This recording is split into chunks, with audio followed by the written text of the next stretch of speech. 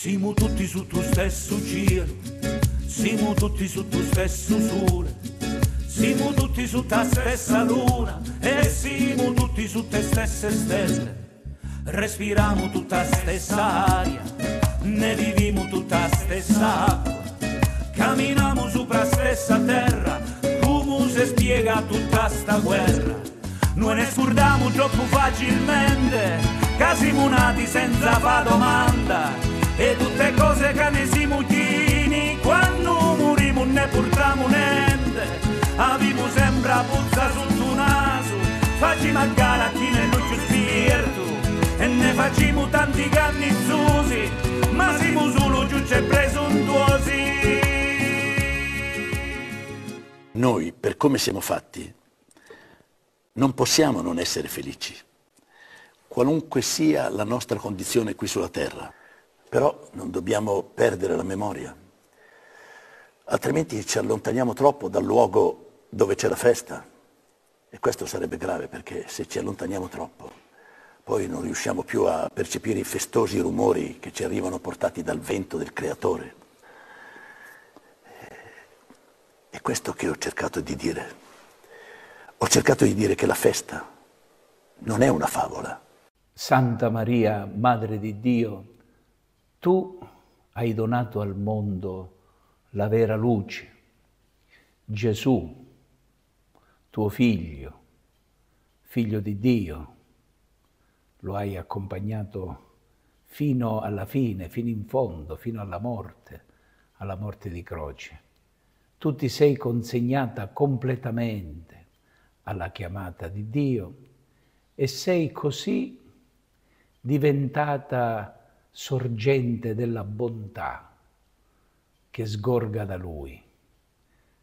Perciò noi in quest'altra domenica che il Signore ci dà di vivere su questo piccolissimo pianeta dell'universo, ti chiediamo di mostrarci Gesù, di guidarci a Lui, di insegnarci a conoscerlo e ad amarlo per diventare anche noi come te, capaci di vero amore ed essere sorgenti di acqua viva in mezzo a un mondo assetato. Ecco, il mondo è assetato di verità, di bellezza, di bontà, di giustizia, di amore, ecco, che noi uomini non abbiamo, che dobbiamo ricevere. Ecco. Difatti l'antifona d'ingresso di questa domenica inizia proprio così. Accogliamo, o oh Dio, il tuo amore nel tuo tempio il Tempio di Dio. Il Tempio di Dio siamo noi, non sono le chiese di mattoni, siamo noi, uomini, fatti a sua immagine, sono le nostre famiglie, le nostre comunità. Ecco, una meraviglia, amici miei.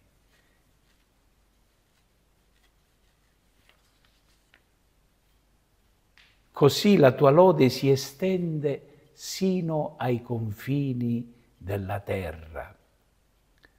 È piena di giustizia la tua destra. La destra del Padre Eterno è Gesù che è venuto a salvarci. Il braccio tuo potente, dice l'inno, ci conduca a un approdo di salvezza e di pace, perché siamo sempre sballottati dalle onde, come dice la Madonna nel messaggio del 25 giugno. Cari figli, io gioisco con voi e ringrazio Dio per avermi permesso di essere con voi, per guidarvi e amarvi. Cosa, qual è lo scopo di una mamma? Guidare amando i propri figli, ecco la Santa Madre Chiesa. Però, figlioli, la pace è in pericolo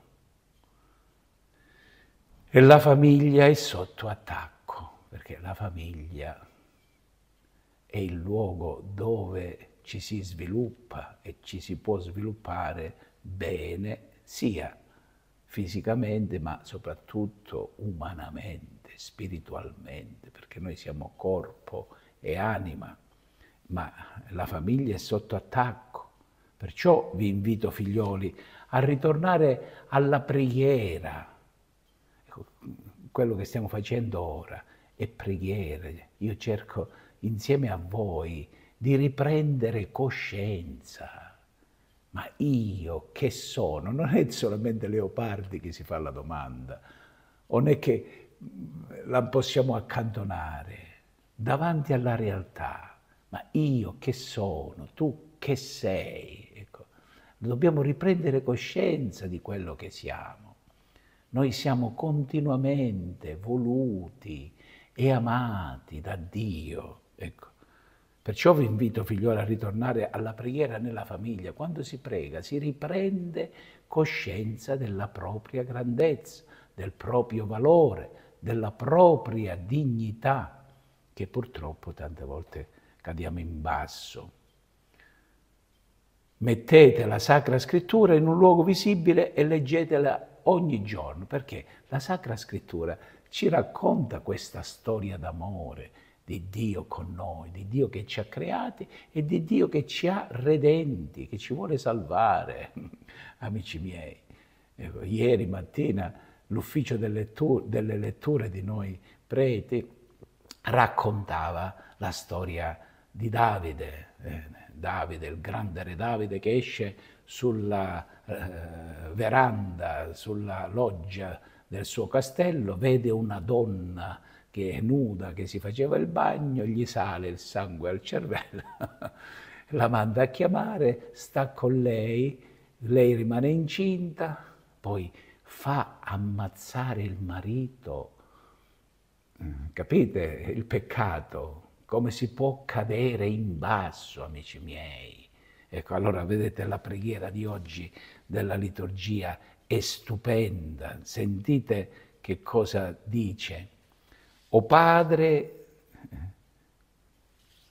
che nell'umiliazione del tuo figlio, come ci salva Dio se noi cadiamo in basso, scendiamo in basso? Scende più sotto di noi per risollevarci. Guardate che, che, quanto è bella sta preghiera. O Padre, che nell'umiliazione del tuo figlio hai risollevato l'umanità dalla sua caduta alzati e cammina. Ecco, perché dobbiamo andare a messa la domenica? O ci dobbiamo fermare così come stiamo facendo adesso, davanti anche alla televisione, a pensare, a usare sta materia grigia che c'è, perché Gesù è venuto non per giudicarci, non per condannarci, e nemmeno per premiarci, è venuto per salvarci, perché cadiamo continuamente. Vedete? Dio, Padre, nell'umiliazione del tuo figlio hai risollevato l'umanità dalla sua caduta, ma risollevi continuamente anche me. Dona perciò a noi, tuoi fedeli, una gioia santa, la gioia di aver raggiunto una meta, il diploma la laurea, il matrimonio, il posto tanto sospirato, sono gioie che passano e ce l'ho io, o ce l'ha lui, o ce l'ha lei, ma non ce l'abbiamo tutti. La gioia santa la possiamo avere tutti. Cosa, cosa, che gioia c'è in paradiso? C'è la gioia finalmente di essere salvati, perdonati, di capire perché abbiamo subito il male, perché abbiamo fatto il male? Per ignoranza, perché sulla croce Gesù dice perdonali perché non sanno quello che fanno. L'ignoranza è l'ottavo sacramento che ci salva, tutti, amici miei. Eh, e dobbiamo stare attenti a quelli che hanno, abbiamo ricevuto di più dal Signore perché gratuitamente la, l'abbiamo ricevuto e lo dobbiamo dare, lo dobbiamo mettere in commercio. allora dona ai tuoi fedeli questa gioia santa, perché liberati dalla schiavitù del peccato, godiamo della felicità eterna, la assaggiamo già da questa terra. Ecco, questa è la vita cristiana. Questo c'è in gioco nella vita dei cristiani. Ecco, assaggiare quella gioia alla quale siamo chiamati e destinati. Il nostro destino è il paradiso. In paradiso saremo tutti felici e contenti. Qui sulla terra no. Perché? Perché siamo capi tusti. Sentite il profeta Ezechiele chiamato da Dio a, a, ad annunciare eh, la misericordia sua a una genia di ribelli. Sentite che meraviglia. È veramente stupenda la liturgia, ogni volta ci riprende. In quei giorni uno spirito entrò in me e mi fece alzare in piedi e io ascoltai colui che parlava. E lo spirito certe volte ci riprende e ascoltiamo Dio che parla continuamente, Dio parla continuamente con il cielo, il sole, la luna, le stelle, il mare, le montagne, i fiumi, tutta la creazione, gli uccelli che volano e cantano. Ecco, mi disse, figlio dell'uomo, io ti mando ai figli di Israele, che sono una razza di ribelli, che si sono rivoltati contro di me. Pensiamo a Gesù che dice alle donne che piangevano vedendolo salire al Calvario con la croce, non piangete su di me, ma su voi stessi e sui vostri figli, perché eh, amici miei, quando facciamo i capricci, dopo ci facciamo male. Essi e i loro padri si sono sollevati contro di me fino ad oggi, quelli ai quali io ti mando sono testardi e dal cuore indurito. È un mistero amici miei. Il nostro cuore eh, è un abisso, è un abisso il nostro cuore, è pieno di tante cose belle, ma di tante cose anche brutte. Basta eh, ascoltare un telegiornale, aprire il giornale, leggere le notizie di cronaca e veramente capisci che il cuore dell'uomo è un abisso è indurito. Tu dirai loro, dice il Signore Dio, ascoltino o non ascoltino. Dal momento che sono una genia di ribella, sapranno che un profeta si trova in mezzo a loro. E quel profeta annunzia la venuta di Gesù. Gesù è venuto, è sceso in basso per risollevarci, perciò è voluto nascere nella stalla, lo ha voluto, morire inchiodato sulla croce, per risollevarci ed è venuto per salvare tutti, non i privilegiati. Allora, il salmo responsoriale, i ritornelli dei salmi, quelli della liturgia, se ci mettiamo un punto interrogativo ci fanno fare un bel esame di coscienza. Ecco il Salmo di oggi dice, i nostri occhi sono rivolti al Signore. Eh, eh. Mettiamoci un punto interrogativo. I nostri occhi, i miei occhi, gli occhi di noi preti, quelli che vengono a messa, sono veramente rivolti al Signore? Questo è il Signore, non è che il Signore è, è, è Superman. Se rispondiamo con sincerità, dobbiamo dire sì e no. Gli occhi di San Pietro eh, erano rivolti a Gesù, ma ancora non aveva capito chi era Gesù, come non l'abbiamo capito noi. Prometti a Gesù, Gesù, Gesù, se tutti ti abbandonano io non ti abbandonerò mai, morirò con te. Pietro, tu mi rinnegherai. Siamo tutti bravi a predicare bene, però poi come razzoliamo? I nostri occhi nelle circostanze della vita sono veramente rivolti al Signore. Le sue piaghe, come chiediamo alla Madonna, Santa Madre dei voi fate, che le piaghe del Signore siano impresse nel mio cuore, sono impresse nel mio cuore. Mm, io lo desidero. Ecco, questa è la cosa bella, la verità ci libera, amici miei, siamo tutti peccatori, nessuno si scoraggi, perché il Signore non è venuto per ne fare pesare i peccati, è per risollevarci, sgravarci, prenderli Lui i peccati e sentire noi quella gioia santa. A te alzo i miei occhi, ecco, questo è il nostro Dio, a te che sei nei cieli San Paolo diceva, io vedo il bene, lo capisco, lo vorrei fare, ma mi ritrovo a fare il male. Chi mi libererà da questo corpo votato alla morte? Siano rese grazie a Dio che ci ha mandato Gesù Cristo. Ecco, questa è la, è la gioia santa, non che siamo bravi, e ci pentiamo per mia colpa, mia colpa, mia grandissima colpa. Io non pecco per colpa di nessuno, pecco per mia colpa. Ecco, allora come gli occhi dei servi alla mano dei loro padroni, come gli occhi di una schiava alla mano della sua padrona, così i nostri occhi al Signore nostro Dio. Ecco, se vedete San Francesco di Paola come chiede l'elemosina, eh, la nostra mamma Natuzza questa è la cappella della casa dove io vivo, eh? la cappella della casa della madre. C'è pure Don Giussani e Papa Giovanni Paolo II. Ecco, bisogna pregare finché abbia pietà di noi e ci faccia assaggiare il suo amore qui sulla terra. Pietà di noi, Signore, pietà di noi. Noi siamo già troppo sazi degli del disprezzo dei superbi, siamo sazi dello scherno dei gaudenti. Ecco.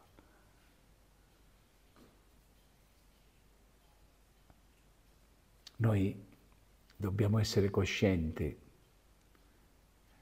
che tante volte non siamo ambasciatori suoi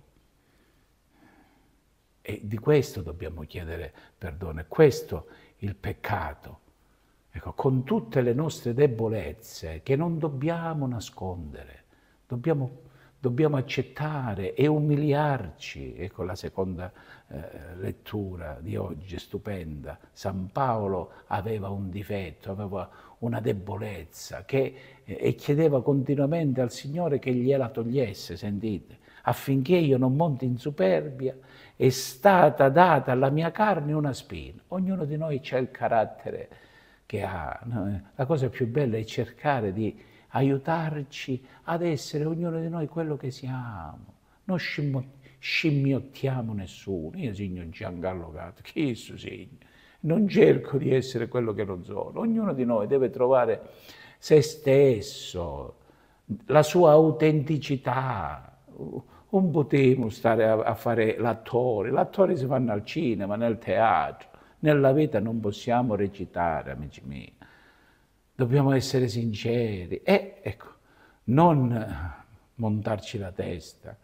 Perciò il Signore permette che continuiamo ad essere deboli, a cadere e avere l'umiltà di lasciarci rialzare da Lui e dai fratelli e dalle sorelle. A causa di questo, per tre volte ho pregato il Signore che allontanasse da me questa debolezza ed Egli mi ha detto, ti basta la mia grazia. La forza infatti si manifesta pienamente nella debolezza. Ecco perché poi San Paolo dice quando sono debole è allora che sono forte per Cristo. Perciò mi compiaccio nelle mie debolezze. Ecco, le debolezze ci devono fare stare nella verità, nell'umiltà. Mi compiaccio nelle mie debolezze, negli oltraggi, nelle difficoltà, nelle persecuzioni, perché quando diciamo la verità a noi stessi e a chi ci sta intorno, ecco, non si ha una vita facile, però si ha una vita vera e una vita che porta bene agli altri, perché la verità ci libera, non la menzogna. Infatti, quando sono debole è allora che sono forte per Cristo. Quindi nessuna meraviglia delle debolezze. Ecco, il dolore per quando non le accogliamo e vediamo qualcuno intorno a noi che è, è triste. quando non ci comportiamo bene, eh, dobbiamo riconoscerlo. Io ringrazio Dio, non finirò mai di ringraziare Dio per aver avuto un papà che me lo ricordava, eh, perché mi ricordava che mi sporcavo non tanto fisico, gli, gli abiti, il corpo, mi sporcavo nell'anima. Ecco. Chi di noi non, non, non è puzzolente nel comportamento? Quante volte io davanti a, a, a qualcosa scappo per vigliaccheria, per paura, per debolezza, amici miei. Tutti siamo deboli, ecco perché papà mi diceva, ecco su fetoso, sì papà, hai ragione. E poi aggiungevo, un dinnipare vergogna. Sì papà, io ho vergogna eh, stavo insieme una maschera, no, non me ne mendo maschera, mi umilio. Ecco, questo è, è, è, il cristiano nel mondo, una persona autentica che dice pane, pane, vino al vino. Non dice Gesù Cristo, il vostro parlare sia sì, sì, no, no, o di più, tutti questi ragionamenti vengono dal maligno. E poi il Vangelo di oggi che ci ricorda una verità semplice, che nessuno è profeta tra quelli che lo conoscono. In quel tempo Gesù venne nella sua patria e i suoi discepoli lo seguirono. Giunto il sabato si mette ad insegnare nella sinagoga, molti ascoltando rimanevano stupiti e dice ma da dove gli vengono queste cose? Pizzica. E che sapienza è mai questa che gli è stata data? I prodigi, quelli che ha compiuto alle sue mani. Ma un neo figlio è Giuseppe de Maria un fratello, i parenti, Giacomo, Iosef, Giuda, Simone e le sue sorelle non stanno qui da noi, eh, perché pensiamo che ci conosciamo, che io conosco te, tu conosci me, non ci conosciamo. Ed era per loro motivo di scandalo. Ma Gesù disse loro, un profeta non è disprezzato se non nella sua patria, tra i suoi parenti e in casa sua. E lì Ecco, non poteva compiere nessun prodigio, ma solo impose le mani a pochi malati e li guarì. E Gesù si meravigliava della loro incredulità.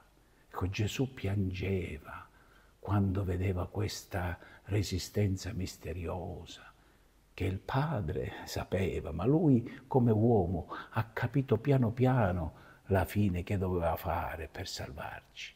Ecco perché giovedì santo dice, Padre, se è possibile, passi da me questo calice, ma non la mia, ma la tua volontà.